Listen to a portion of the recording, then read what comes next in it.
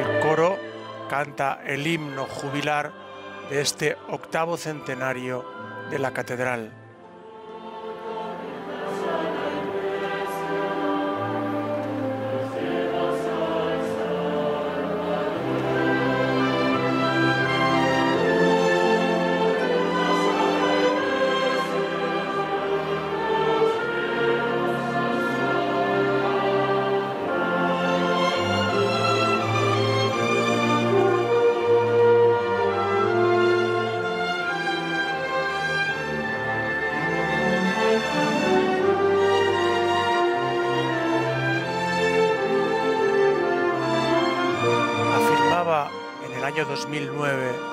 Benedicto, cualidad de las catedrales góticas es que en su construcción y decoración, de modo diferente pero coral, participaba toda la comunidad cristiana y civil. Participaban los humildes y los poderosos, los analfabetos y los doctos, porque en esa casa común se instruía en la fe a todos los creyentes. La escultura gótica hizo de las catedrales una Biblia de piedra, representando los episodios del Evangelio e ilustrando los contenidos del año litúrgico, desde la Navidad hasta la glorificación del Señor. En aquellos siglos se difundía cada vez más la percepción de la humanidad del Señor y los sufrimientos de su pasión se representaban de modo realista. En el nombre del Padre, del Hijo y del Espíritu Santo. Que la paz esté con vosotros. Queridos hermanos, en un día como hoy, del año 1221, comenzaba la edificación de este templo como manifestación de la fe en Dios por parte de la comunidad cristiana que siglo tras siglo ha celebrado aquí la fe en el Padre, Hijo y Espíritu Santo. Esta catedral, imagen visible del templo de Dios que es la Iglesia, acoge a todos en esta solemnidad de su 800 aniversario de la colocación de la primera piedra, confiando en el amor misericordioso de Dios, sintiéndonos piedras vivas, nos preparamos a vivir esta Eucaristía pidiendo con humildad perdón por nuestros pecados y acogiéndonos a la misericordia infinita del Padre.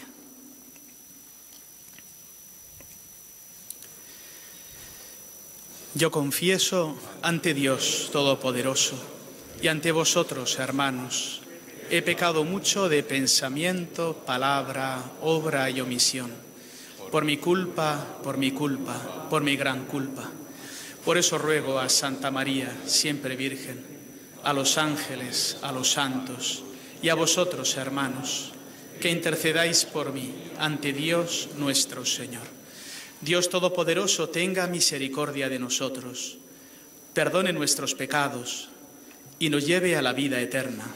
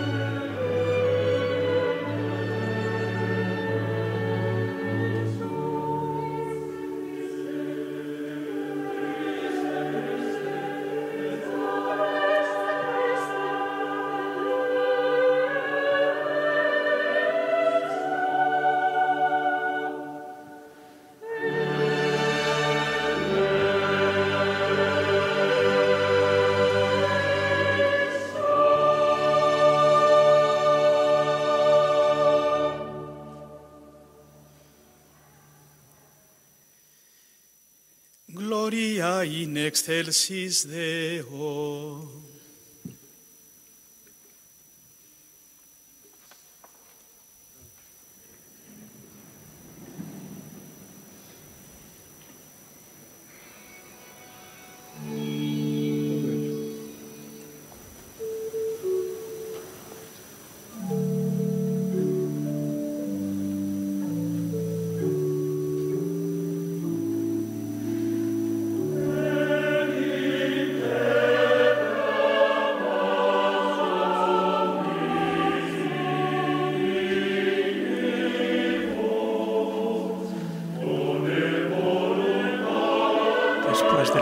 Del Kyrie, el obispo que preside la celebración, don Mario Iceta, arzobispo de Burgos, ha entonado el Gloria, que continúa cantando la coral como expresión de la solemnidad de esta fiesta de la dedicación de la Santa Iglesia Catedral.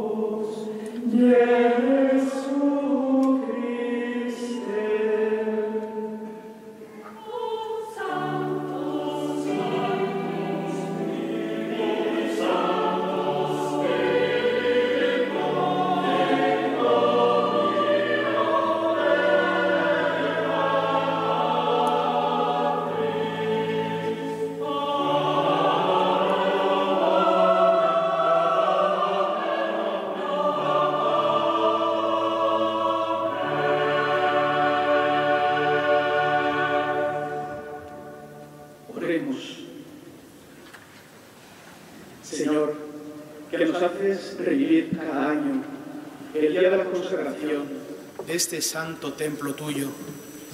Escucha las plegarias de tu pueblo y haz que en este lugar se te ofrezca siempre un servicio digno y obtengamos la plenitud de la redención. Por nuestro Señor Jesucristo, tu Hijo, que contigo vive y reina en la unidad del Espíritu Santo y es Dios por los siglos de los siglos. La oración colecta ha concluido la primera parte, los ritos introductorios de la celebración, y nos disponemos ahora a escuchar la palabra de Dios.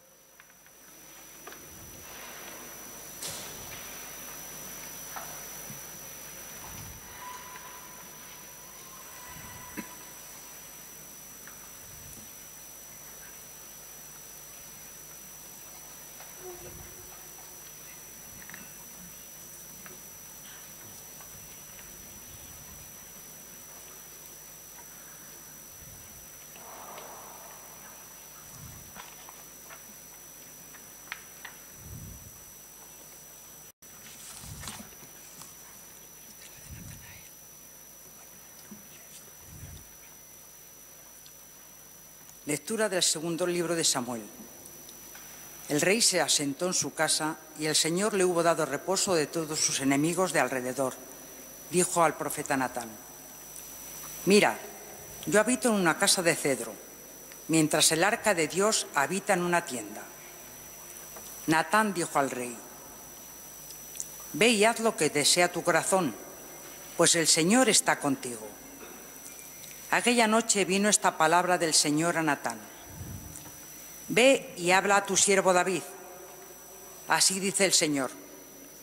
Tú me vas a construir una casa para morada mía.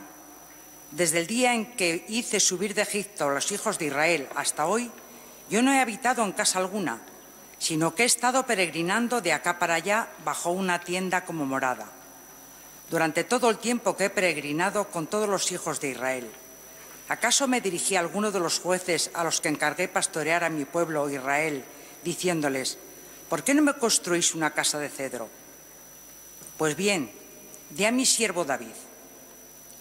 Así dice el Señor del universo. Yo te tomé del pastizal, de andar tras el rebaño para que fueras jefe de mi pueblo Israel. He estado a tu lado por donde quiera que has ido y suprimido a todos tus enemigos ante ti y te he hecho tan famoso como los grandes de la tierra. Dispondré un lugar para mi pueblo Israel y lo plantaré para que resida en él sin que lo inquieten ni le hagan más daño los malvados como antaño, cuando nombraba jueces sobre mi pueblo Israel. A ti te ha dado reposo de todos tus enemigos. Pues bien, el Señor te anuncia que te va a edificar una casa. En efecto, cuando se cumplan tus días y reposes con tus padres, yo suscitaré descendencia tuya después de ti. Al que salga de tus entrañas le afirmaré su reino. Será él quien, construya una casa a mi nombre, y yo consolidaré el trono de su realeza para siempre. Yo seré para él un padre, y él será para mí un hijo. Si obra mal, yo lo castigaré con vara y con golpes de hombro, de hombres. Pero no apartaré de él mi benevolencia como la parte de Saúl al que alejé de mi presencia. Tu casa y tu reino se mantendrán siempre firmes ante mí. Tu trono durará para siempre. Natán trasladó a David estas palabras y la visión. Entonces el rey David vino a presentarse ante el Señor y dijo, ¿quién soy yo, mi dueño y Señor, y quién la casa de mi padre para que me hayas engrandecido hasta tal punto? Y por si esto fuera poco a los ojos de mi dueño y señor, has hecho también a la casa de tu siervo una promesa para el futuro. Palabra de Dios.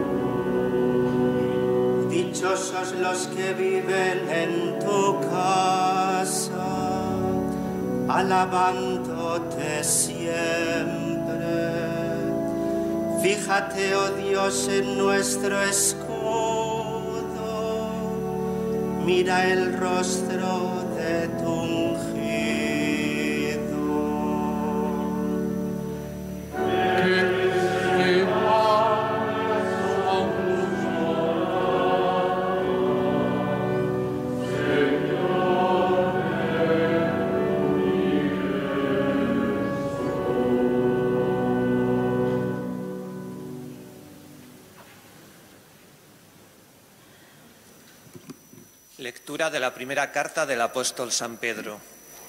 Queridos hermanos, acercándoos al Señor, piedra viva rechazada por los hombres, pero elegida y preciosa para Dios, también vosotros, como piedras vivas, entráis en la construcción de una casa espiritual para un sacerdocio santo, a fin de ofrecer sacrificios espirituales agradables a Dios por medio de Jesucristo.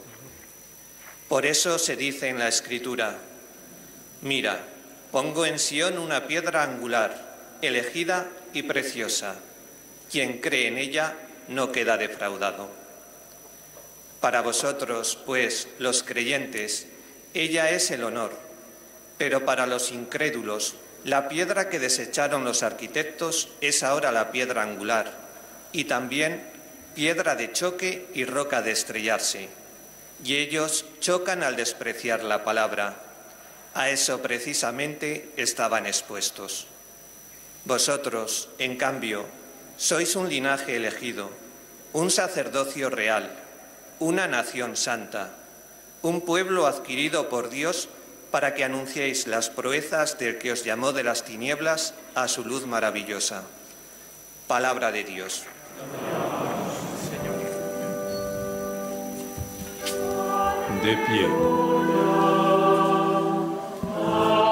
Los textos de la palabra de Dios tomados del ritual de la dedicación de iglesias y altares nos han hablado de la importancia del templo físico como lugar de la presencia de Dios, pero también del templo espiritual del que estamos llamados a formar todos nosotros, templos consagrados a Dios por el bautismo. El canto del aleluya nos dispone a acoger la proclamación del Evangelio.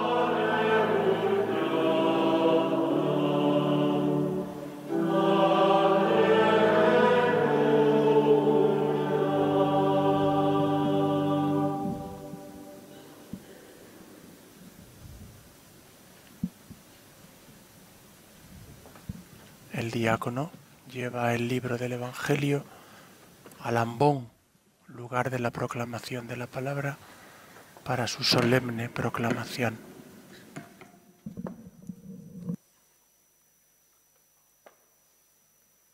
El Señor esté con vosotros. y con tu espíritu. Lectura del Santo Evangelio según San Juan. Gloria a ti,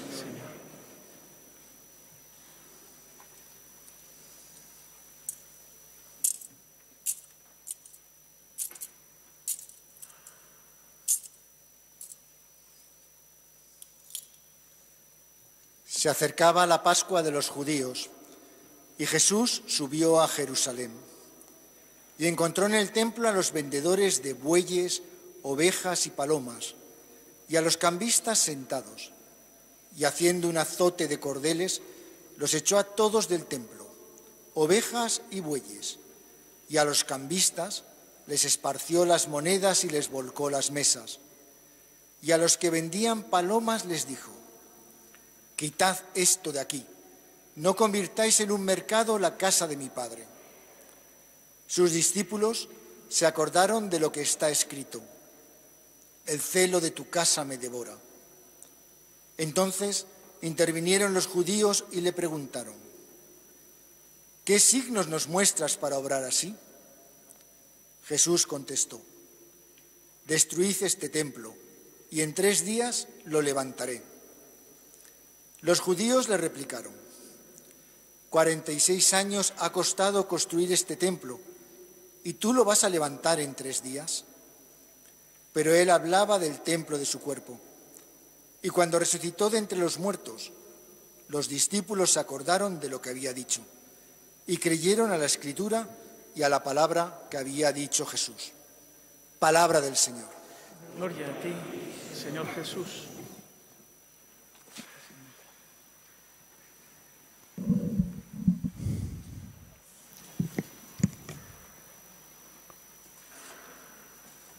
El arzobispo bendice al pueblo con el Evangeliario, el libro de los Evangelios.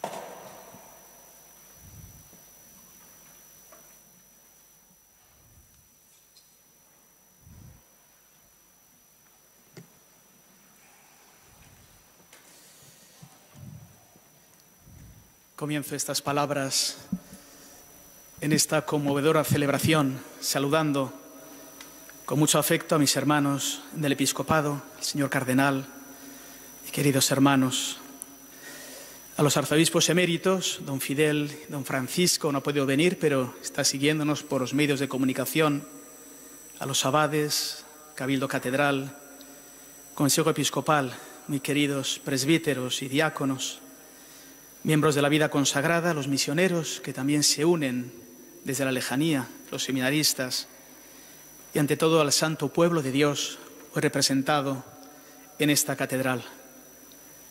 También saludo con grandísimo afecto a las autoridades civiles, estatales, autonómicas, provinciales y locales, a las autoridades militares, judiciales y académicas. Nos honráis ciertamente con vuestra presencia y os agradecemos de corazón el estar aquí hoy con nosotros. Quisiera agradecer de modo particular a quienes forman la Fundación Octavo Centenario, de modo particular al presidente que me ha precedido. Yo estoy apenas llegado, al vicepresidente, a todos sus miembros.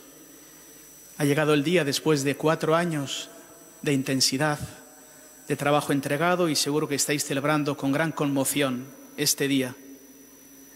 Agradezco a las instituciones públicas y privadas, a las empresas, asociaciones y particulares que también han formado parte de esta fundación y a todos los que contribuyen a la restauración, conservación, funcionamiento de este grandioso templo.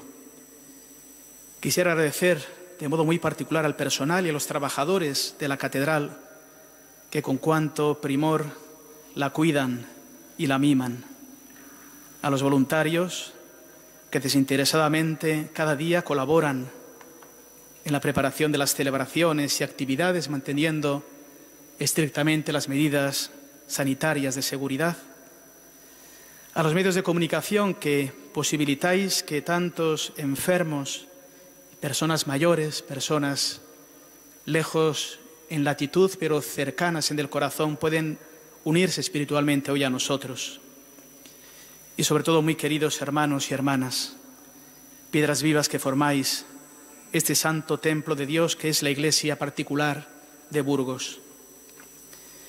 Hemos leído cuatro lecturas de la cual yo quisiera hacer de cada una una línea, una breve reflexión. La primera veíamos como el rey David, que era muy primario, pero amaba entrañablemente a Dios.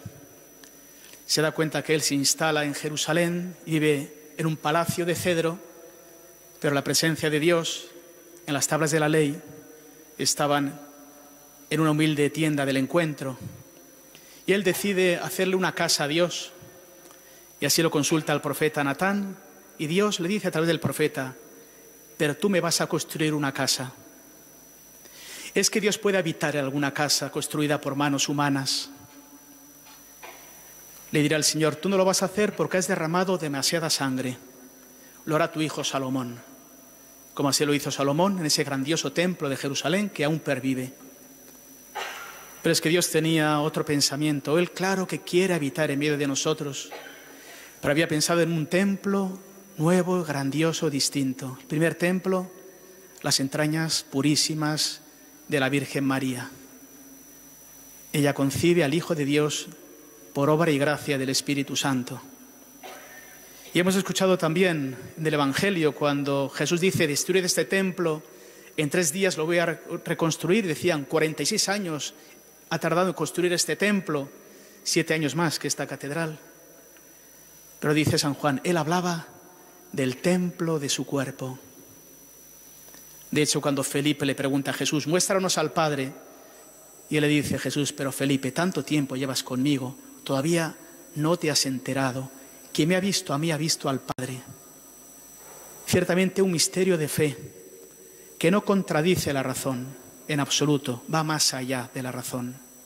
Quien ha visto a Jesús ha visto al Padre. Dios que habita de modo corporal en Jesús. No solo en Él, Dios ha querido habitar en nosotros.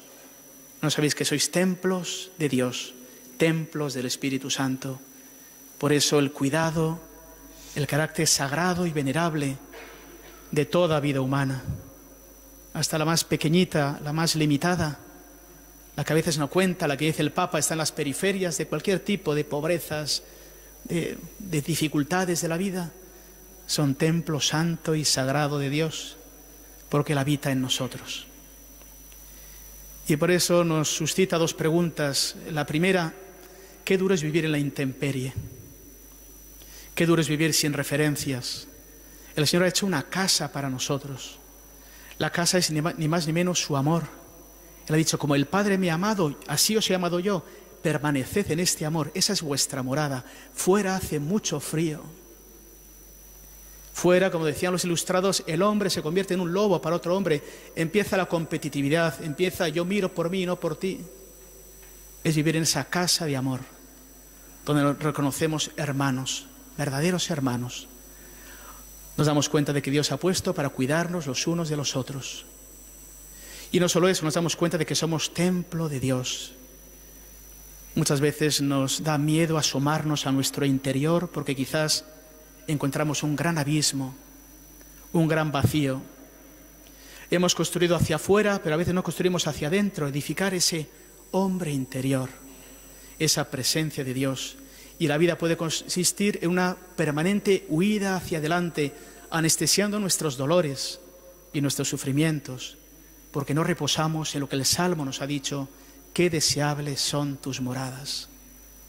Hasta el gorrión ha encontrado una casa tus altares, Rey mío y Dios mío. Ojalá todos demos, encontremos esa morada. Como dice el Señor en el Apocalipsis, vengo y llamo a tu puerta. Si me abres, compartiré la vida contigo, cenaré contigo, estaré para siempre en tu presencia. Vivirás para siempre en esta casa de amor y misericordia. La catedral ciertamente significa en piedras muertas lo que son las piedras vivas del templo de Dios. Primaria y fundamentalmente, la catedral es un imponente edificio de fe. Los que le hicieron les movió esa fe. Sus hermosos retablos eran el Evangelio un Pauperum, el Evangelio de los pobres. Muchos iletrados no sabían leer, veían los misterios de la salvación, tallados de un modo tan maravilloso en piedra, en bronce, en hierro, en madera. Es el gran misterio de la fe en medio de nosotros. Representa a Cristo piedra angular y a partir de esta piedra angular se construye el edificio santo de Dios. La catedral es testigo de ocho siglos de fe, esperanza y caridad. La fe de enseñar al pueblo de Dios la presencia amorosa de Dios, su presencia vivificante entre nosotros. La caridad simbolizada en estos triforios que durante tantos siglos albergaban a los peregrinos, a los sin techo, encontraban abrigo en la casa de Dios. La catedral además es institución cultural de primer orden, testigo de 800 años de las diversas tendencias, diversas escuelas que de modo maravilloso se reflejan en la catedral, ciertamente institución también económica, social y de promoción de primer orden. La fe y esta catedral han vertebrado los diversos pueblos de España durante tantos siglos. ¿Qué los unía a los diversos pueblos? La fe en Cristo el Señor. La fe ha vertebrado lo que se conocía como la cristiandad en el camino de Santiago, también unidos en este misterio de Cristo. Pero quisiera dedicar unas palabras al sentido último teológico de la catedral. Siete meses llevo en la diócesis, he visitado muchas capillas, he asistido a muchas presentaciones y decía, en el fondo, ¿cuál es la clave de esta catedral? ¿Cuál es la lectura más profunda de la catedral? Y me di cuenta que estaba plasmada en el ático de la puerta de Santa María, arriba del todo. Está escrito en letras, quizá no se ve mucho, está muy arriba, que dice, pulcra est et decora. Es decir, todas las piedras de esta catedral, los cientos de santos que están en, el cimborrio, en las capillas, que jalonan todo lo que es el crucero, cientos de santos, de mártires, de reyes, están diciendo a los cuatro vientos, pulcra es et decora, eres pura y hermosa.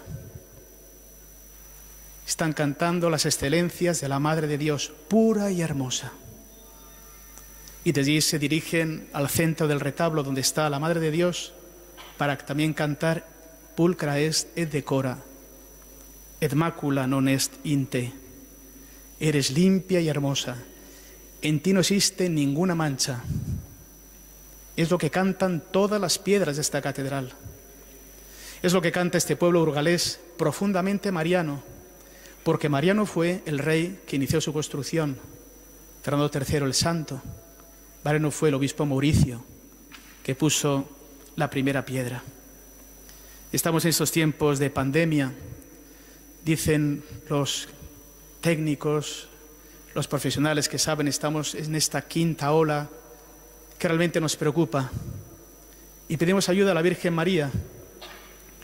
Recuerdo una pequeña anécdota, sabéis que yo estuve 16 años sirviendo en la iglesia de Córdoba Conozco y amo de corazón Andalucía, donde nací, al sacerdocio. Y visitando un pueblo cercano a Sevilla, dos hermanas, estaba allí la Virgen de Valme.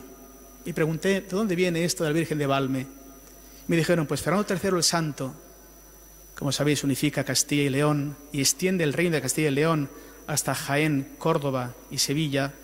Decía, cuando iba a iniciar una campaña militar, rezaba ante una imagen que era figura de nuestra Santa María Mayor, se ponía de rodillas y decía, váleme Señora. Es decir, ayúdame Señora. Es lo que San Fernando siempre invocaba antes de comenzar las contiendas. Váleme Señora, de ahí viene, válme Señora, ayúdame Señora. Con estas palabras del rey San Fernando quisiera yo hoy también dirigirme a la Virgen María en estos tiempos difíciles, sanitarios, económicos y sociales.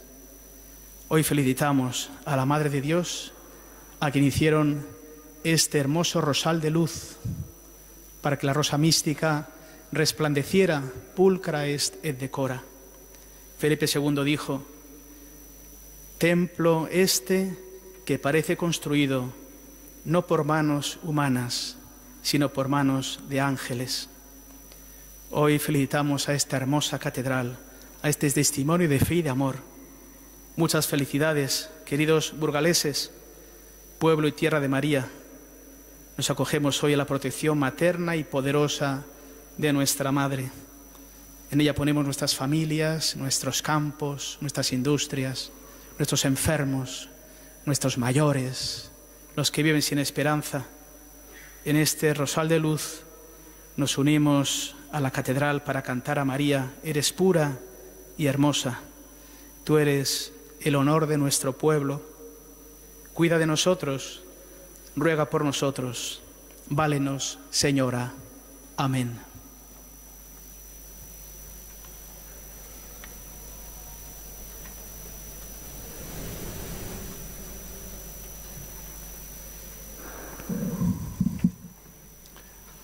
Elocuente reflexión del señor arzobispo don Mario Iceta en esta solemne celebración del octavo centenario de la primera piedra de la Catedral burgalesa. Recuerdo... Hagamos juntos la profesión de nuestra fe.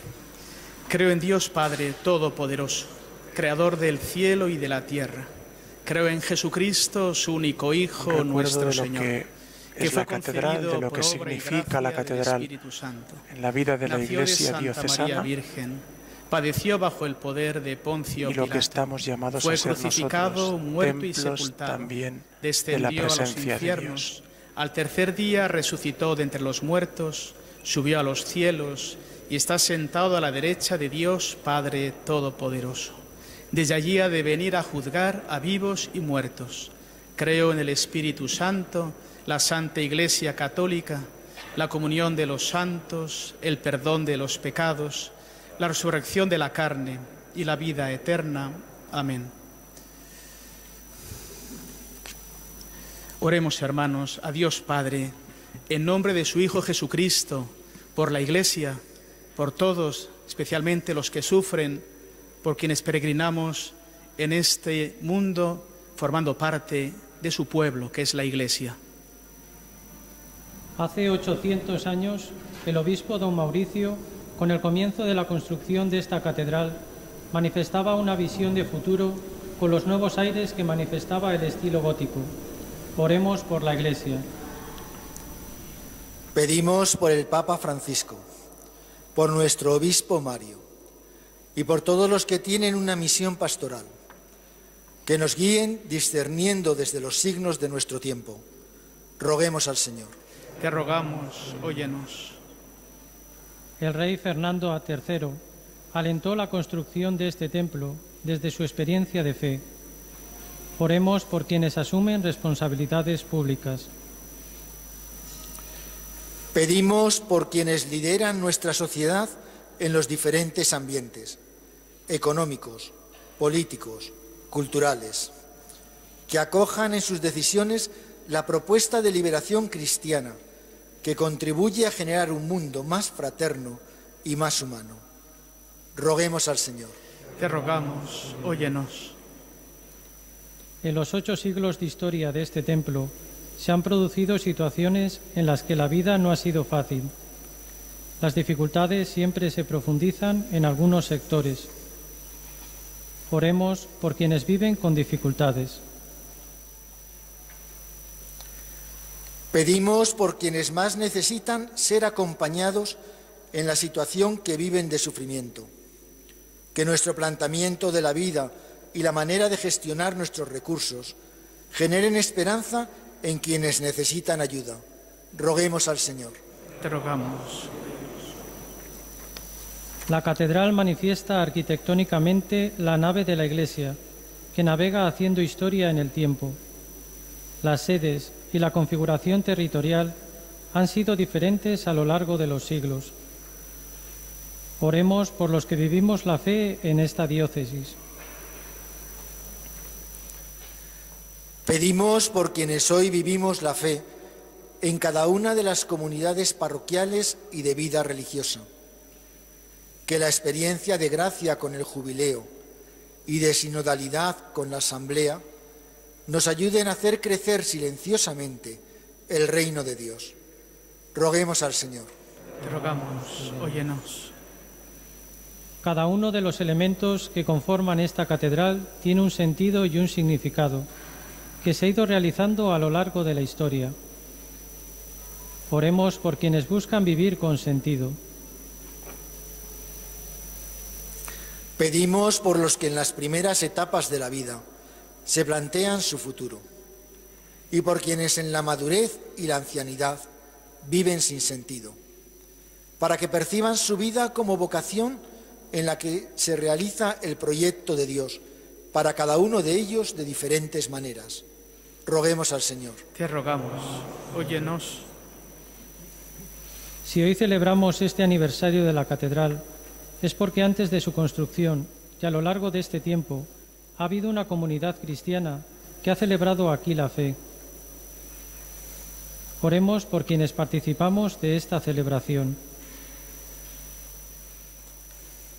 Pedimos por los que estamos reunidos en esta asamblea y por quienes se unen a nosotros siguiendo esta celebración a través de los medios de comunicación, para que vivamos con memoria agradecida, haber recibido el legado de la fe hecho arte y hecho vida en tantas personas que se sienten piedras vivas que conforman el templo de Dios, que somos cada uno de nosotros, tal como nos recuerda el lema del año jubilar. Roguemos al Señor. Te rogamos, óyenos. Dios Todopoderoso y Eterno, atiende las súplicas que te dirigimos para que tu iglesia se pueda congregar en cada una de nuestras propias comunidades, viviendo y celebrando el misterio de la fe, y un día todos podamos participar del banquete eterno de tu Hijo, que vive y reina por los siglos de los siglos.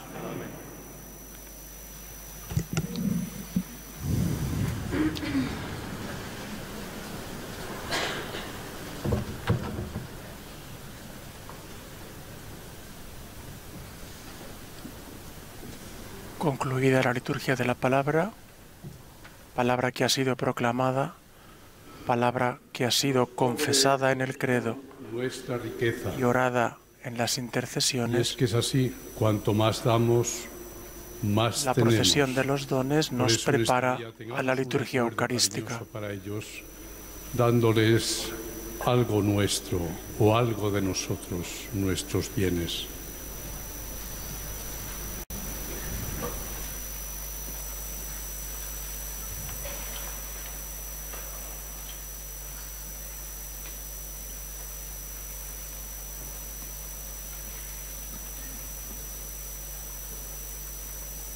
Una representación del pueblo de Dios ha llevado el pan y el vino al altar, ha sido recogido por el señor arzobispo y ahora el diácono prepara todo lo necesario para la liturgia eucarística.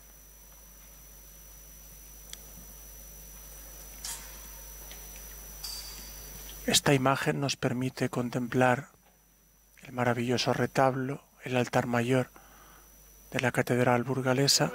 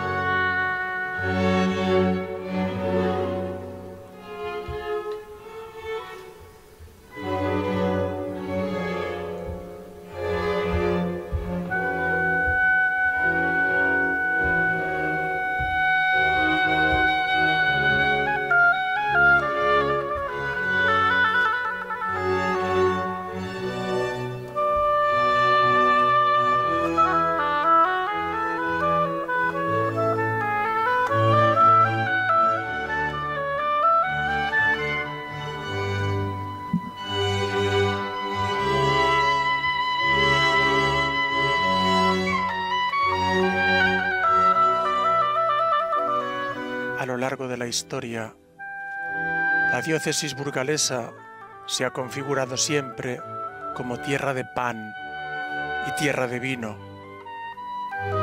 En la mesa del altar que se está preparando, ofreceremos pan y vino. En ellos, la presencia real de Cristo nos alienta y nos alimenta. nos sostiene y nos fortalece.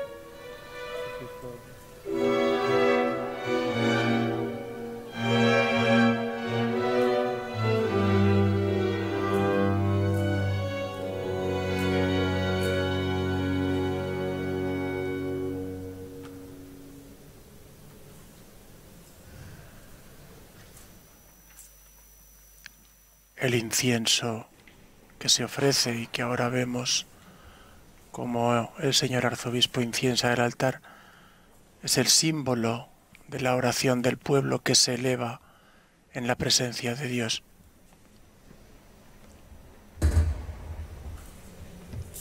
El diácono inciensa a quien preside la celebración, don Mario Iceta, arzobispo de Burgos, a continuación, inciensa a todos los concelebrantes, ministros ordenados y finalmente a todos los fieles, los componentes del pueblo de Dios, expresando así la dignidad sacerdotal recibida en el bautismo. Toda la asamblea concelebra el misterio de la salvación. hermanos, para que llevando al altar los gozos y las fatigas de cada día, nos dispongamos a ofrecer el sacrificio agradable a Dios Padre Todopoderoso.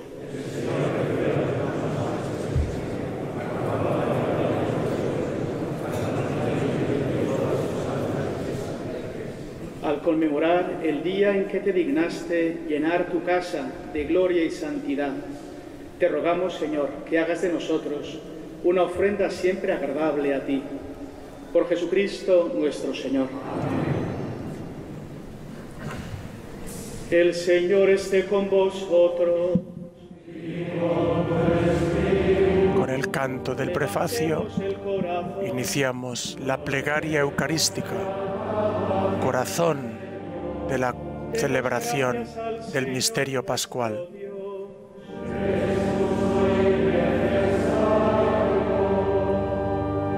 Verdad es justo y necesario, es nuestro deber y salvación, darte gracias siempre y en todo lugar, Señor Padre Santo, Dios Todopoderoso y Eterno, por Cristo Señor nuestro, porque en la casa visible que nos has concedido construir, donde protege sin cesar a la familia que peregrina hacia ti, manifiestas y realizas de manera admirable el misterio de tu comunión con nosotros.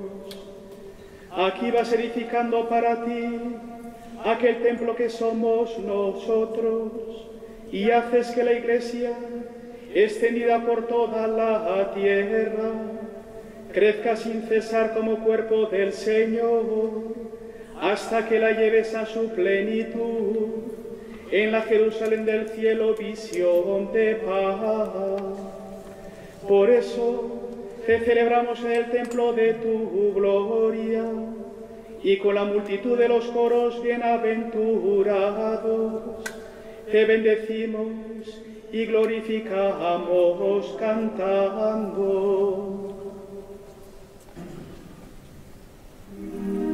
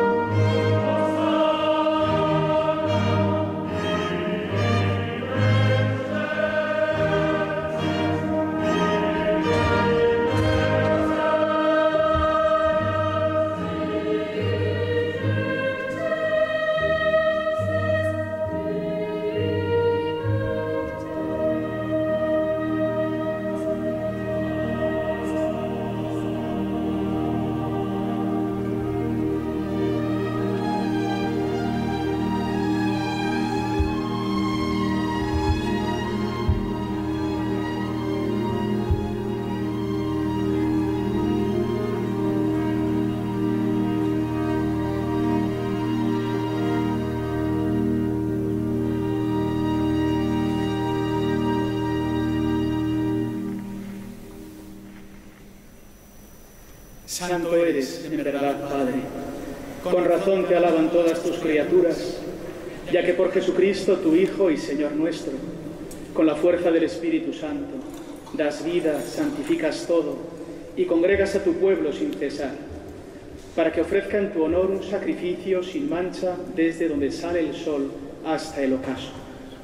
Por eso, Padre, te suplicamos que santifiques por el mismo Espíritu estos dones que hemos separado para ti, de manera que se conviertan en el cuerpo y la sangre de Jesucristo, Hijo tuyo y Señor nuestro, que nos mandó celebrar estos misterios. Porque él mismo la noche en que iba a ser entregado tomó pan, dando gracias te bendijo, lo partió y lo dio a sus discípulos, diciendo, Tomad y comed todos de él porque esto es mi cuerpo que será entregado por vosotros.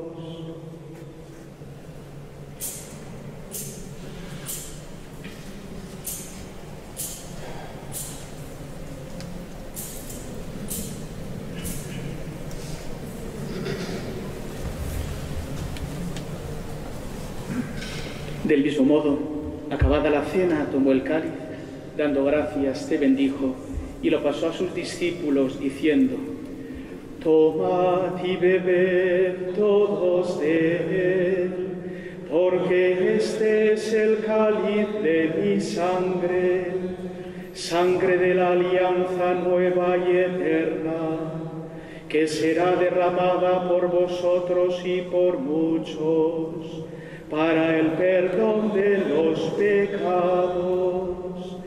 Haced esto en conmemoración mía.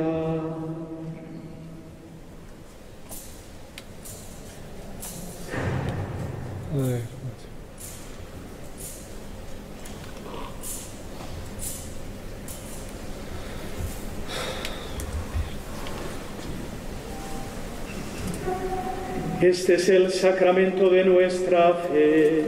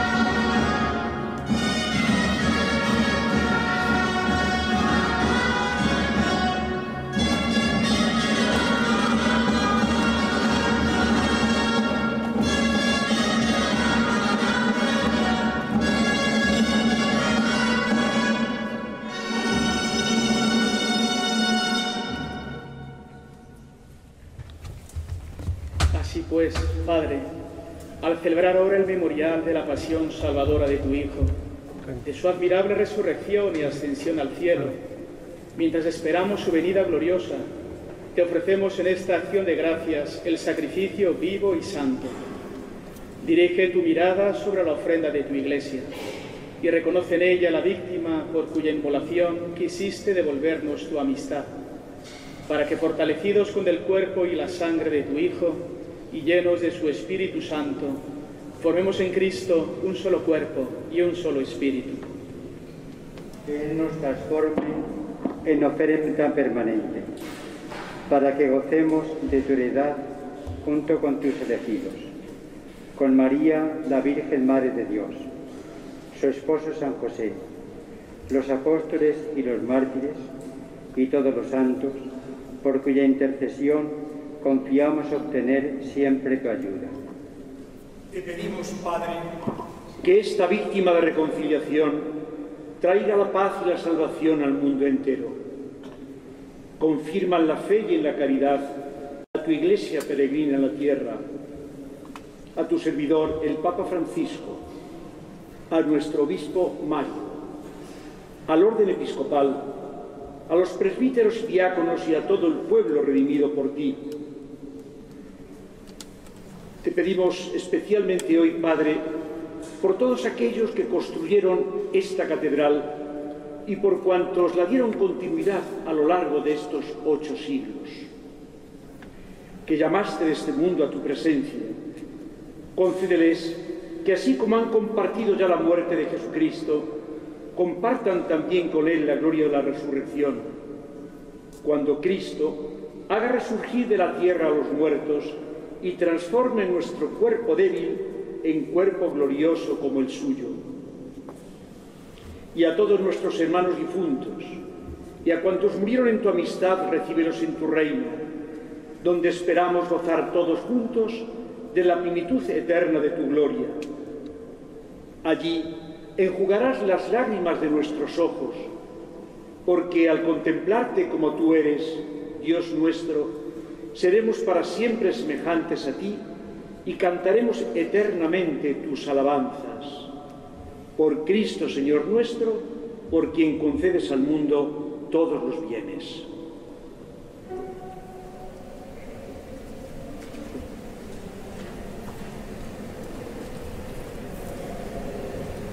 Por Cristo, con Él Él, a ti Dios Padre Omnipotente, en la unidad del Espíritu Santo, todo honor y toda gloria por los siglos de los siglos.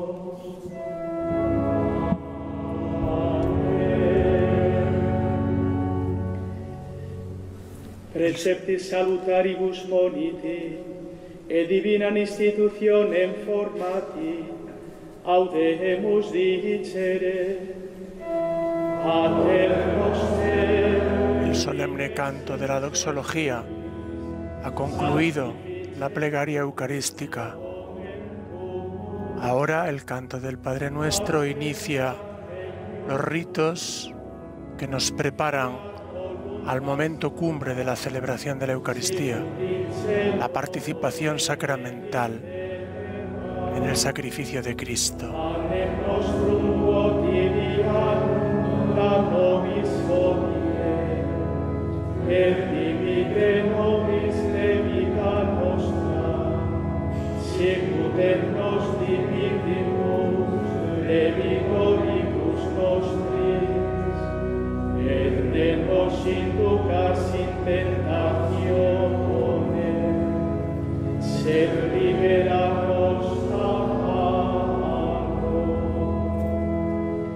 Líbranos de todos los males, Señor.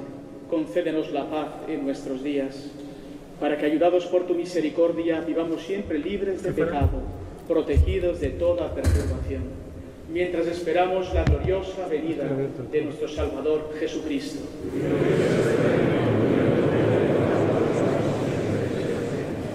Señor Jesucristo, que dijiste a tus apóstoles, la paz os dejo, mi paz os doy.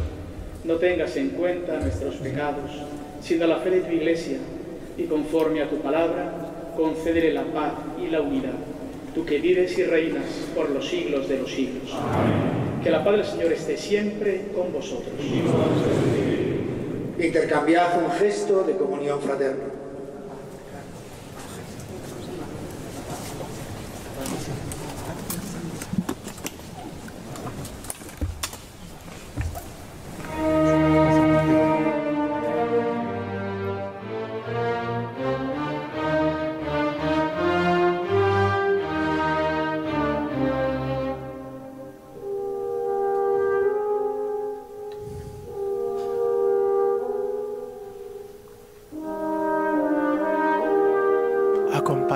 En el altar a don Mario Iceta,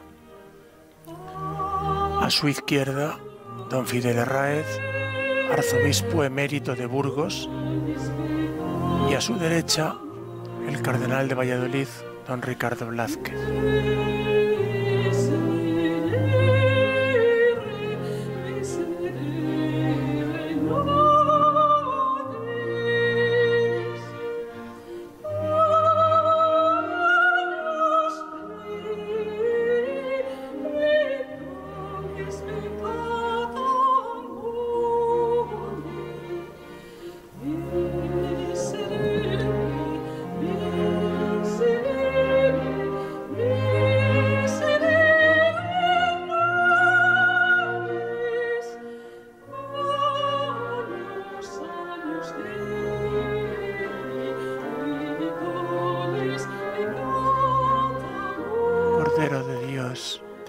El pecado del mundo, ten piedad de nosotros, danos la paz.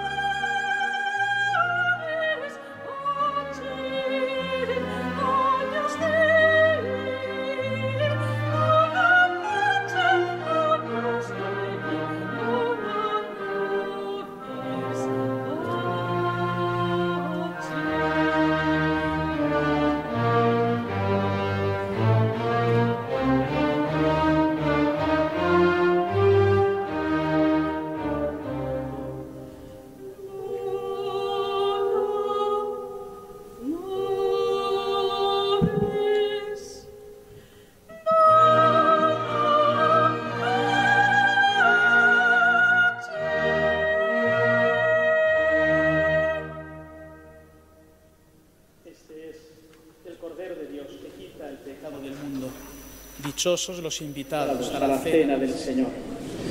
No os olvidéis de en casa. Una palabra tuya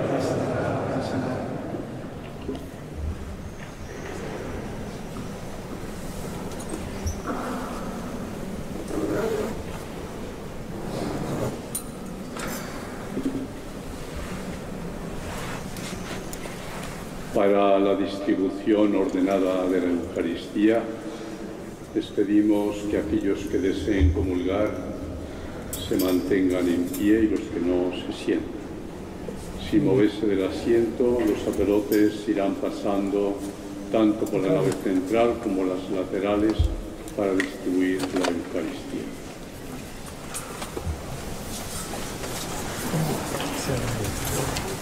Los sacerdotes permanezcan también donde están, que irán allí con el sándwich y, la Sagrada Hostia a distribuir con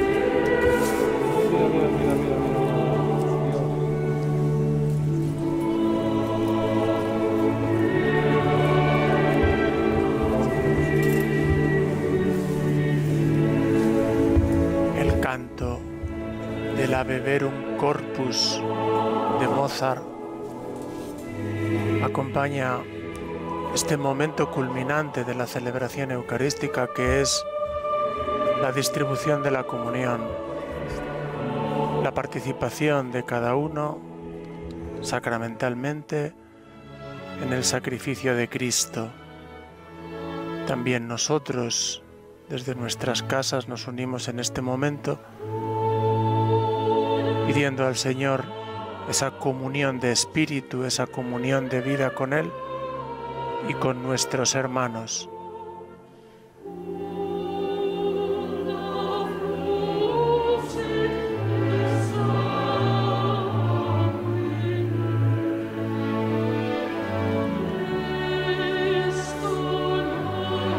Salve, verdadero cuerpo, nacido de la Virgen María verdaderamente atormentado, sacrificado en la cruz por la humanidad, de cuyo costado perforado fluyó agua y sangre. Haz que te gustemos en el trance de la muerte.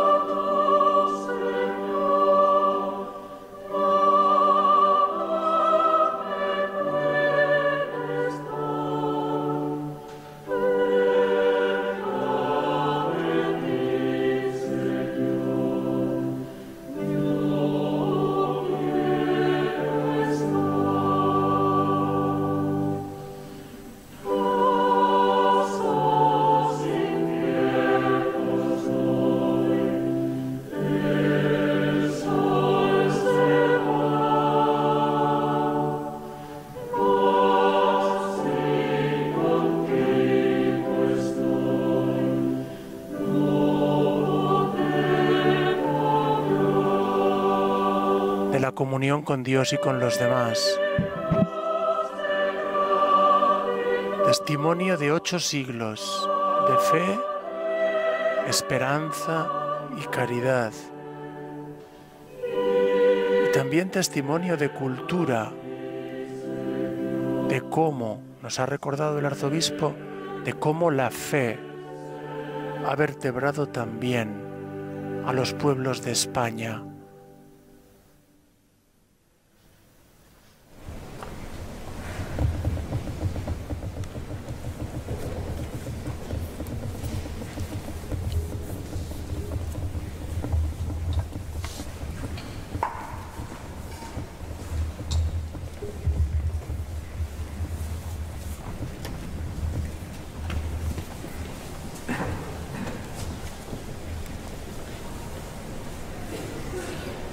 Contemplar en este momento a la derecha del retablo la cátedra vacía, la sede del obispo, que en la catedral se llama cátedra y da nombre a todo el conjunto.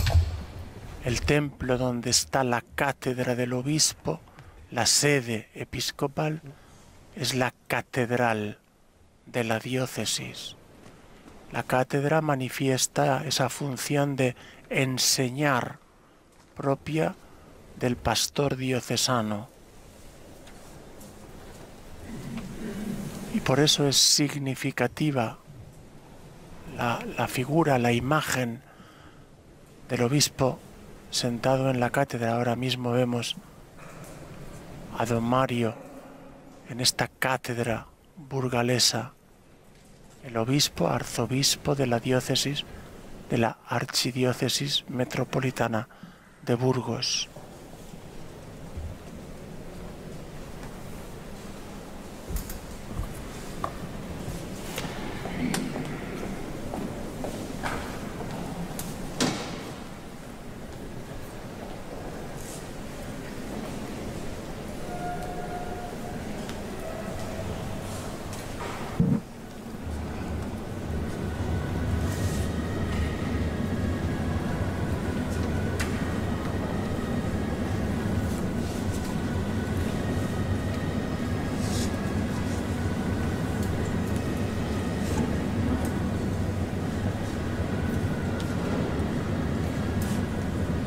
Son varios los obispos que han querido sumarse a esta celebración, todos ellos vinculados históricamente con la sede burgalesa, porque han formado parte de, la, de las diócesis afiliadas a la Iglesia Metropolitana de Burgos en distintos momentos de la historia.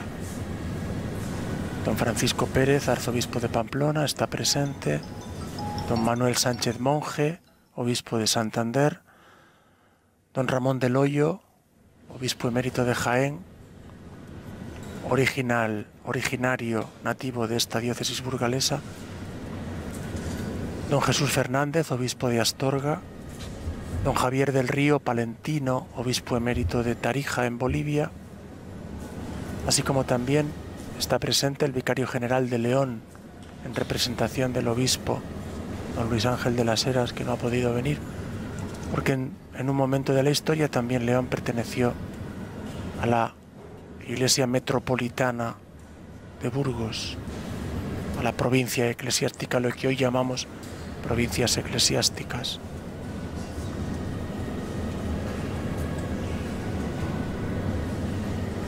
Estaban, están también presentes, ya lo hemos dicho, don Ricardo Blázquez, cardenal arzobispo de Valladolid, y el obispo auxiliar también de Valladolid, don Luis Argüello, secretario general de la Conferencia Episcopal Española.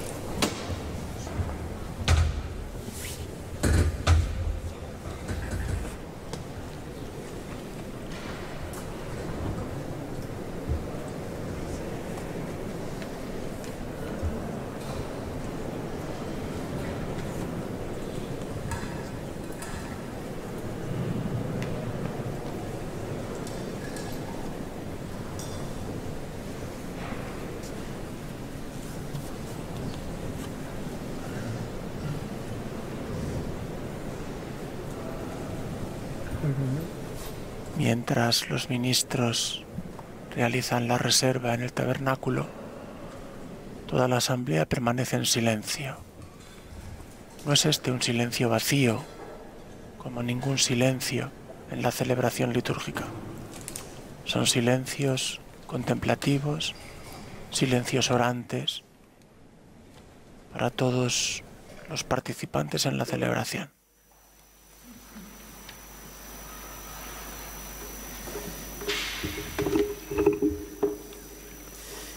Te rogamos, Señor, que el pueblo a ti consagrado reciba los frutos y el gozo de tu bendición, para que vea recompensado en el Espíritu el trabajo material que ha ofrecido en este día de fiesta. Por Jesucristo nuestro Señor.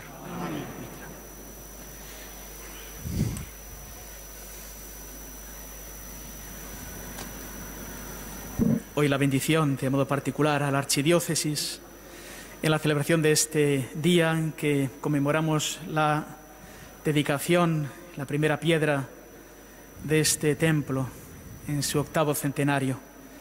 La bendición a los hogares donde hay sufrimiento, a los enfermos, a los hospitales, las personas mayores, las residencias, los que no encuentran trabajo, los que no llegan a fin de mes, los que viven sin esperanza, que encuentren siempre en esta casa el alivio que necesitan. Encuentren en nosotros, los hermanos, para poder caminar con alegría. En este día santo, la bendición de corazón, en el nombre del Señor. Que el Señor esté con vosotros. Bendito sea el nombre del Señor. Nuestro auxilio es el nombre del Señor. Que hizo el cielo y la tierra. Y la bendición de Dios Todopoderoso, Padre, Hijo y Espíritu Santo, descienda sobre vosotros.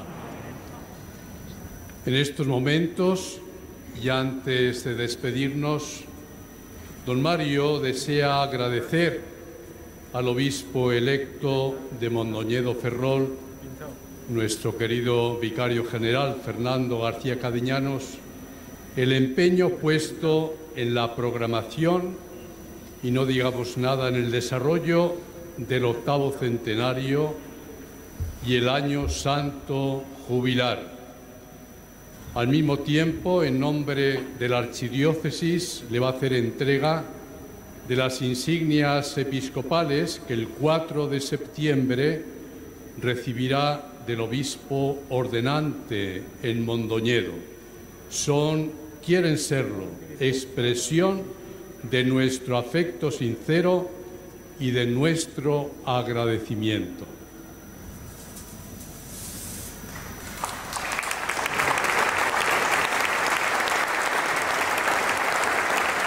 Hace pocos días el Santo Padre, el Papa Francisco, ha nombrado obispo de Mondoñedo Ferrol, al, al, que ha sido hasta ahora vicario general de esta diócesis burgalesa, al que ahora don Mario abraza con agradecimiento.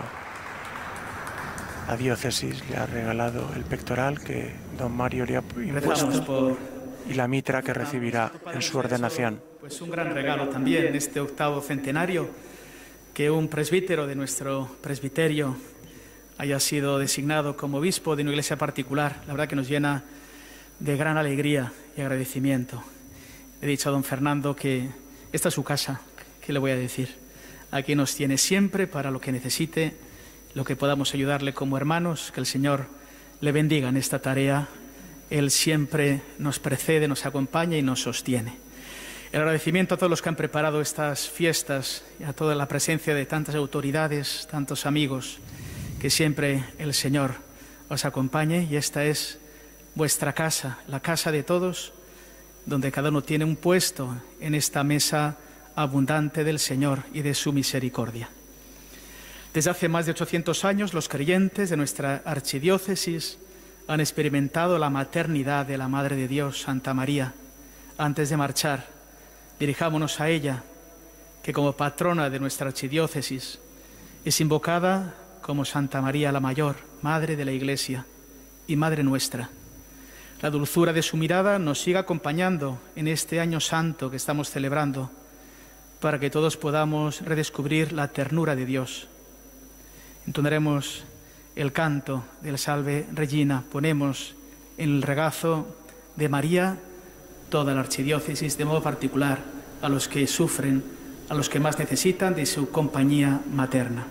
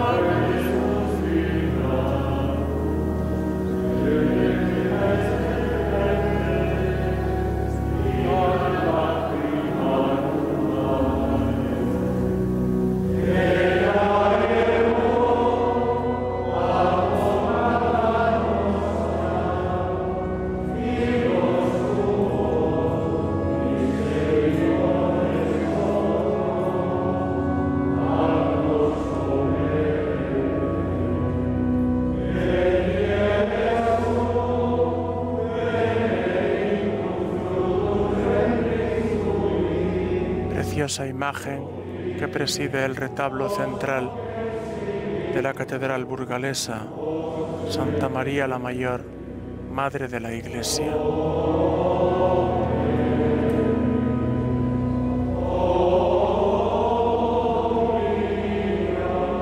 Durante el canto de la salve, el señor arzobispo ha incensado solemnemente la imagen de la Virgen como signo de veneración en este día. Ruega por nosotros, Santa Madre de Dios, que seamos dignos de alcanzar las promesas de nuestro Señor Jesucristo. Concédenos, Señor, nosotros, tus siervos, gozar de perpetua salud de alma y cuerpo, y por la poderosa intercesión de la Virgen María, líbranos de las tristezas de esta vida y concédenos las alegrías del cielo. Por Jesucristo nuestro Señor. Ave María Purísima. Y con el fin de hacer la salida ordenadamente, perdonad que os indique cómo hacerla. En primer lugar, va a salir la nave central, las autoridades. Concluye así la celebración. Y eclesiásticas. Les ha acompañado con sus comentarios Lino Emilio Díez Valladares, religioso sacramentino. Después la capilla del Santo Cristo.